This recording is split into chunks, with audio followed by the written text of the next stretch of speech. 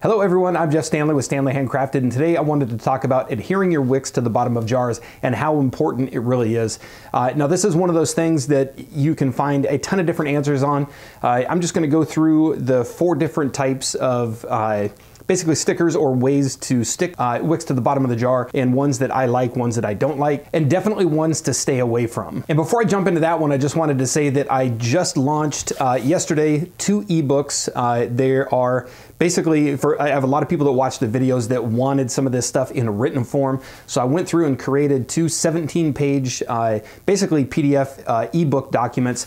Uh, there's two different ones. One of them is how to make soy candles with GB464 and the other one is how to make parasoy candles with IGI 6006. Now I have both of these listed in the video description down below and I've got them posted on my website right now. So for anybody that wanted like a, a written document, pictures and everything, step by step, uh, tips, tricks, kind of troubleshooting, uh, test sheets at the end of it. Those are linked down below and they're on my website. So basically jumping into this, what we're gonna be talking about are ways to adhere the wicks to the bottom of the jars. Now this is something you definitely wanna pay attention to and it's something that You'll find over time which ones you like, which ones you don't like. And it's one you have to pay attention to because if your wick is not stuck to the bottom of the jar, you run the risk of that wick sliding to the side of the glass and creating a real fire hazard outside of the normal fire that comes with lighting a candle.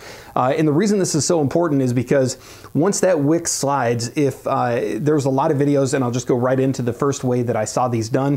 One of the first videos that I saw on YouTube when I started making candles, uh, the person was just dropping the wick from a pencil right down into the center of the candle. Uh, it wasn't adhered to the bottom, so they just literally dropped it straight down in there and then poured the wax. Uh, now for, I'd say probably about the first three quarters of the candle, that's not a problem. It's just gonna go through, it's gonna burn, you're gonna have a nice candle. But as that candle gets down towards the last 25% and the whole bottom section becomes basically a giant melt pool, that wick doesn't have anything to stick to. And most of these jars, you can't really see it right there, I guess with that reflection you kind of can. Uh, they're concave, so inside the jar it curves like that. It's more of a convex shape, uh, kind of like a half dome shape on the inside of that. And what happens is when that gets to be fully melted, if you knock that a little bit, or even if it's just off center a little bit, that liquid, that wick is basically, it's either going to fall over and it's going to extinguish itself. It could slide all the way to the side of the glass and then just burn right up the side of that glass. And most glass will withstand some pretty good heat unless it's directly next to it, in which case you can melt the glass. The wick can get extremely hot. A glass can get extremely hot and crack or shatter. Uh, which is of course going to create a huge fire hazard. So first off, definitely adhere your wicks. Uh, don't ever drop a wick in there. Don't ever just drop a wick in there. It's extremely dangerous. You want to make sure that they're stuck to the bottom.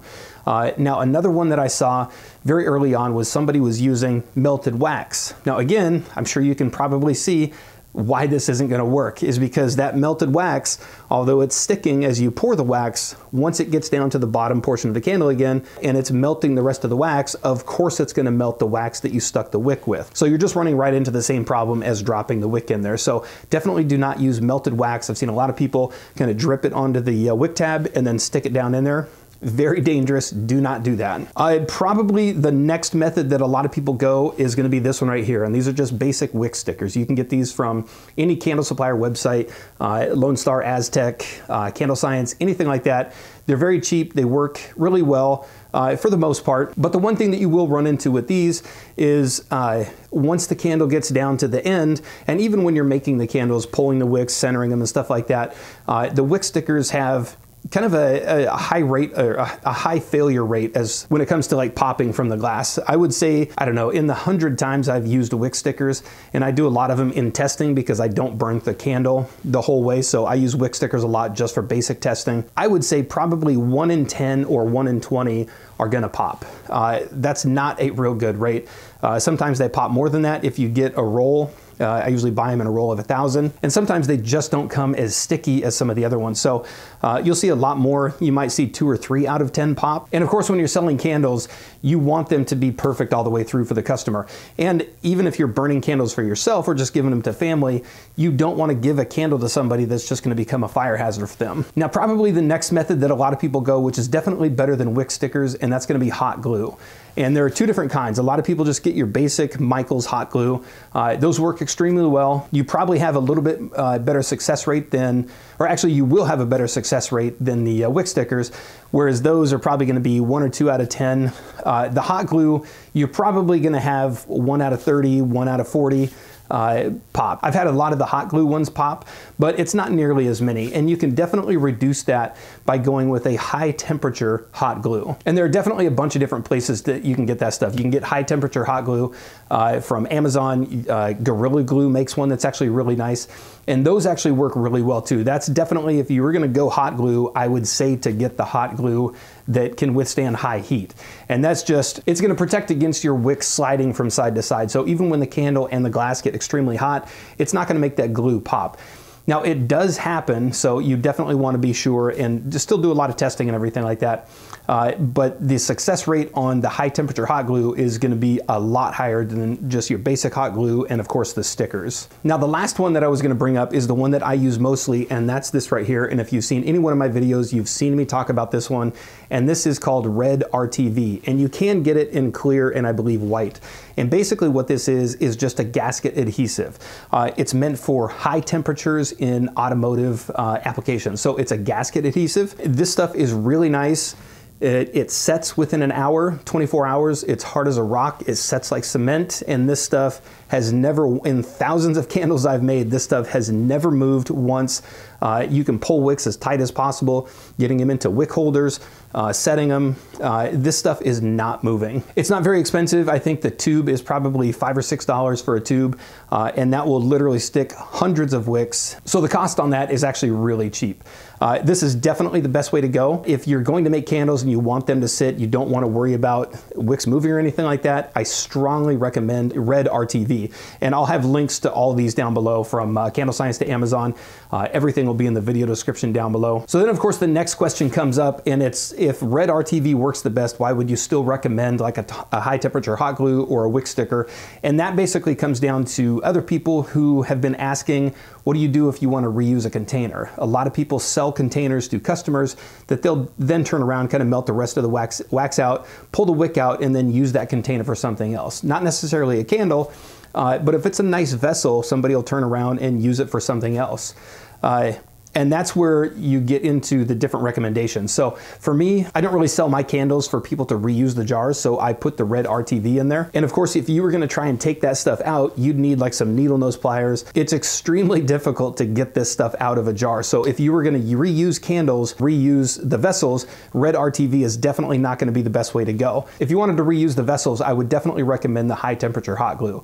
It's gonna be a lot easier to come out when that candle burns all the way down and somebody wants to reuse that that container. Uh, again, it's basically gonna be like some little needle nose pliers get in there, you grab the wick tab, and it's gonna pop out relatively easy. So that's pretty much it with this one. Just a very quick and easy demo. I see a lot of people talking about this one uh, in the comments down below from previous videos, and of course in the DIY Facebook group. That one comes up quite a bit. And every time somebody comes through my markets or anything like that, or the website, they always see the red dot and they ask what it is also. And probably one of the other big questions that comes up is, is that toxic? And is it gonna be a problem once it burns down because it is an adhesive? Uh, it's, it's a stronger glue. And the answer is no. I mean, of course, if you were to heat the, the gasket adhesive, the red, uh, the red RTV, and even the hot glue, if you heat that stuff up to the point where it starts to melt, it's going to release some stuff that's not really that great. It's not meant to be burned.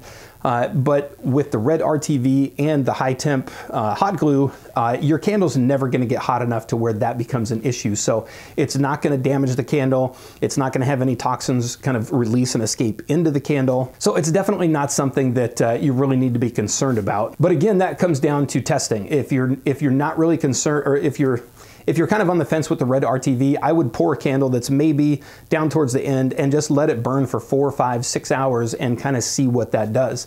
And you're gonna find the same thing with the high temperature hot glue as well as the red RTV. No matter how hot you get that candle, it's still not gonna come close to the temperature that it's rated for, which I believe for the high temperature hot glue and the red RTV, is well over 400 degrees, and your candle's really never going to come to even half of that. And to add on to that, if it is something that you're concerned with, I would definitely put that on the warning labels down below. I know for California, I believe it's Prop 65, you definitely have to label stuff like that. So if you're using a glue or a, an adhesive or anything like that, you definitely want to label and let people know that there is something in there like that. Uh, and again, it's just a good safety thing. A lot of people want to buy candles that are all natural. So if you're doing even a soy candle and you want to keep it natural, you would probably stay away from the high temperature hot glues and the red RTV and maybe just go more towards the stickers. But again, it all comes down to testing and safety and just kind of protecting yourself and the customer.